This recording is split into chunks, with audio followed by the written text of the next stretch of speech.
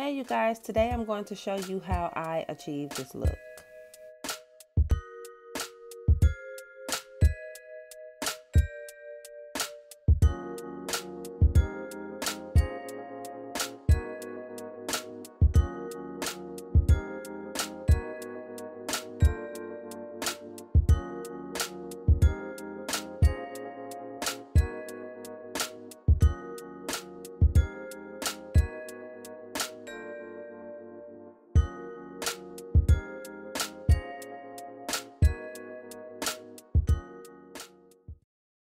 So I'm going to take this gel ombre that I did off my client and we're going to go right into this new look. Okay, so I've already debulked her nails down using my mean green drill bit that I got from Atwood Industries. And I have already used my skiver bit to go in and, you know, you know, try to outline that nail and get some of that oil off around that cuticle and just push it back just slightly a little bit. Now I am clipping the cuticles and you know just making sure my client's nails look nice and neat and I can see a nice gap between you know her nail that's growing and the acrylic. So in this video I'm not going to do um, I'm not going to show the whole fill in. I am just going to show the uh, the cuticles being clipped and I'm going to get right into this nail art. I, um, I decided to keep the cuticle clipping part in because I find that a lot of people really do enjoy watching cuticles being clipped. I don't know what it is about it, but something about it is satisfying. So, you know, this is for those people that enjoy, you know, things like that. So I'm going to, um, I'm gonna pop in and out of this particular part right here until it's time to get into that nail art. But if you know, if you are a person that enjoy watching cuticles being clipped, enjoy.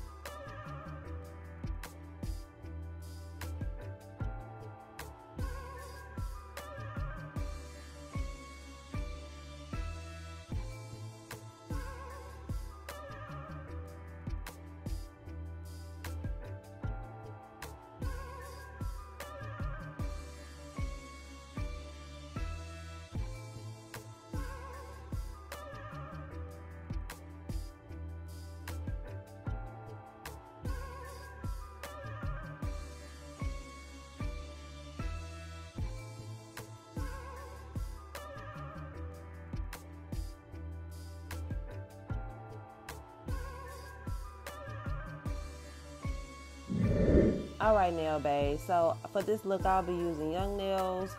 Um, I forgot the name of that color, y'all, because I'm doing a voiceover. And the other color that I'm using is um, Boat Trip from Madam Glam. So I'm pretty much just going to put, you know, the nail polish, the gel polish all over the nail. You know what I'm saying? You want to make sure when you're doing any type of look that you're getting those sides good when you're painting. You want to make sure you're getting the bottom and you want to make sure you're getting close to the cuticle line but not actually getting it on the cuticle. It makes all the difference.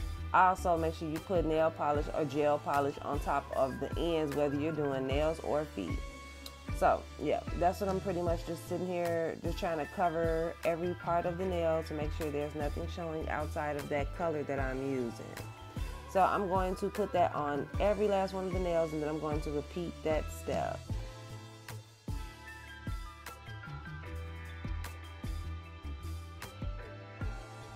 I love this color. Like this color is just so pretty to me. I just love it.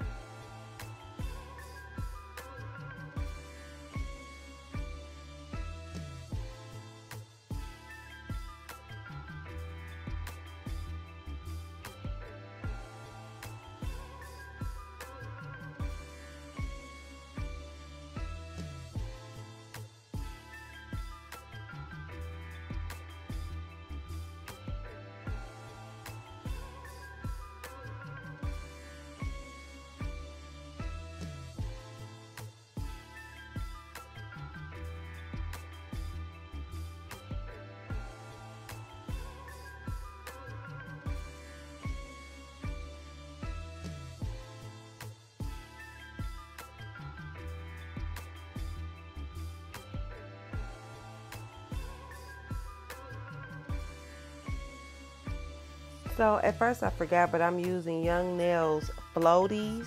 That's the color. It was one of their, um, you know how they be having like their Young Nail sales.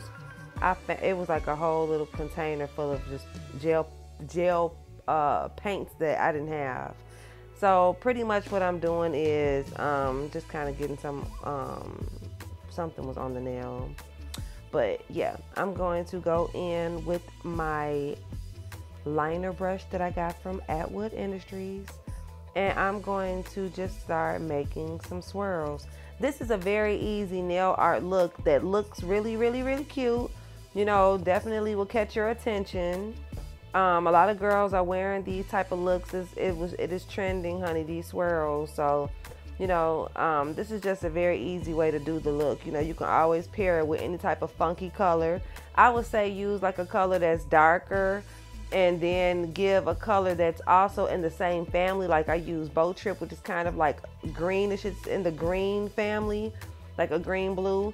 And I just wanted to use something that was also green but lighter, just to kind of like you know throw it off a little bit, but in a cute way.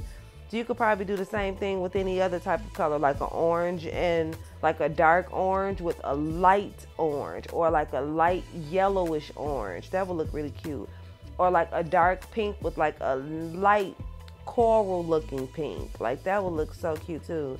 So I'm pretty much just doing like thin lines, thick lines, and just kind of like making it look the way I want it to look. You can make the swirls thin, you can make them thick, you can do a little bit of both.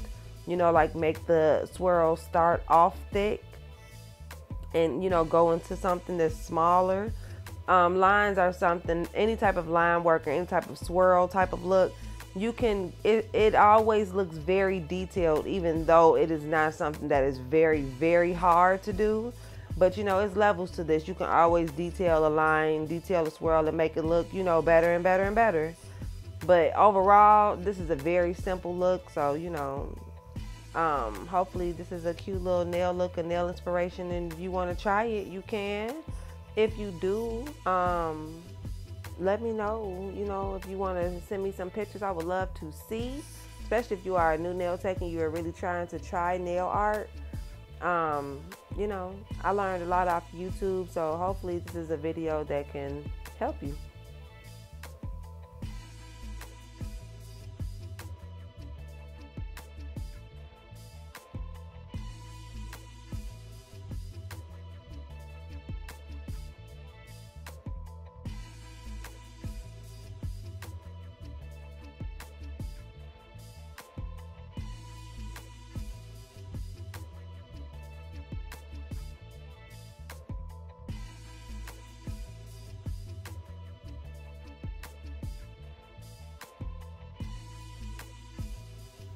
There's really no right and wrong way to do a look like this. You just kind of have to have an inspiration for it and just go at it.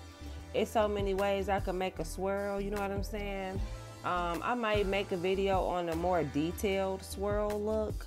Um, but for a look like this, as you can see, it is very, very, very simple. So you can even half this out and like only do it on half the nail. Like it's so many ways you can do this. Or you can do the swirls where they're all going upward so, you know, it just really just depends on the type of flow you're trying to go with, you know, the shape of the client's nails. All of that will matter, but overall, this is the gist of it.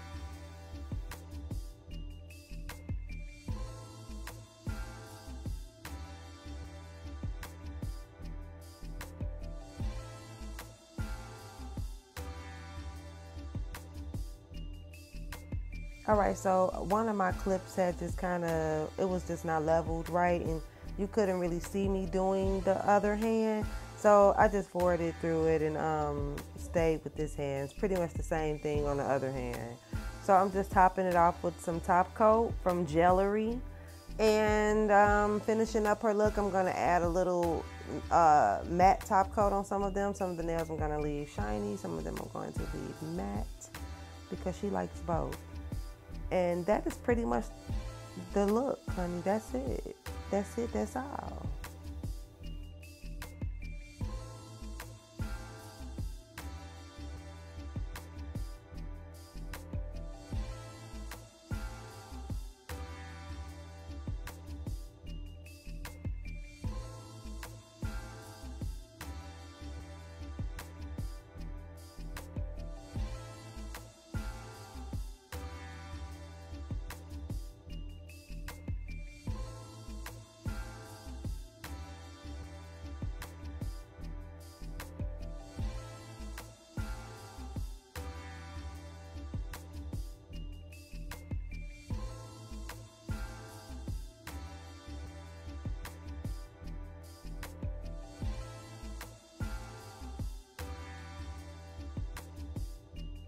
When you're applying top coat, um, matte top coat, you always want to make sure you're getting around in them corners pretty good. You know what I'm saying? You don't want to, you know, have shiny spots. You know what I'm saying? You want to, you know, not cut them corners so quick. You know what I'm saying? you want to make sure that you don't have no shiny spots. You know what I mean? It's very, very important. You don't want to have to like have to take the whole thing off. You know, sometimes matte top coats when when doubled, they you know they don't dry very well. So, you know, it's better to just try not to, you know, cut them corners, you know what I mean? Try to hit them corners, you know, on every angle. you know what I'm saying? Just it's best to just do it the right do it right the first time. You know, matte isn't always so forgiving like a shiny top coat. But that matte be hidden. I know y'all see it. Matte be hidden. It's my favorite. Like I I really, really love it so much more than shiny top coat. But you know, shiny shiny top coat is definitely what it is. But matte, yes, ma'am, it gets me every time. It's just something about it. But you know, just another little tip for nail techs out there: um, nail art always looks best on matte because you know when you draw or when you paint anything, you know, a nice canvas or paper, you know, of course, anything that looks dry always looks good.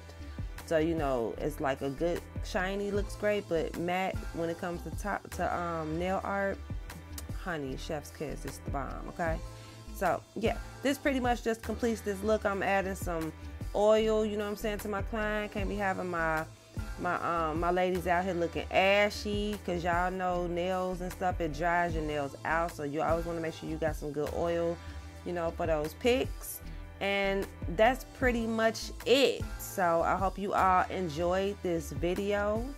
And I'm going to hit y'all with some um, some pics and some videos of the completed look at the end.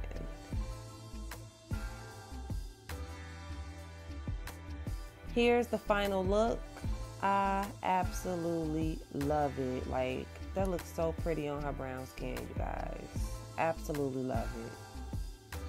And that's it for this video. Thank you all for watching. If you haven't, please make sure you like, comment, and subscribe. And yeah, thank you. Okay, so I'm back with this bonus clip because I wanted to show you all my um my new shirt that I got from Growing Greysfully. So I found y'all know I am 35 years old. I have been growing my gray hair out for like a minute now. So this is me right now with my gray, and it's all like around my halo area and a little bit in the middle of my head. But I really, really love it, and um, I'm embracing it, and it is what it is. I'm sick of coloring my hair, so you know we're gonna get these whites and these grays and all of that. So I found this girl on Instagram, um, and she is just amazing. I like the free gifts that came with it. Um, these came, these are so cute. Like um, I could put this on with the shirt or whatever I want. She has a tea mug on her website. I want too. But yeah, it came with these little clips, and I figure I could put this on a shirt or something when I, you know, don't have my regular shirt on that I got. And this is the shirt. It's so cute, y'all it says gray hair goals. I'm like, uh-huh. I can definitely be somebody's goals out here.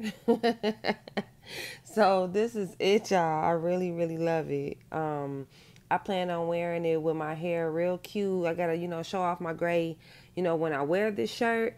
But when I put it on, y'all, I'm gonna show y'all how I look in another bonus clip. I'm I am going to wear my shirt and I'm gonna wear it soon. But y'all make sure y'all go and follow her.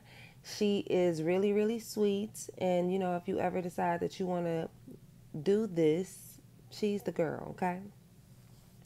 But yeah, that's it for this bonus clip, you guys. I hope you all really did enjoy this video. And I'll see you guys on the next one. Bye.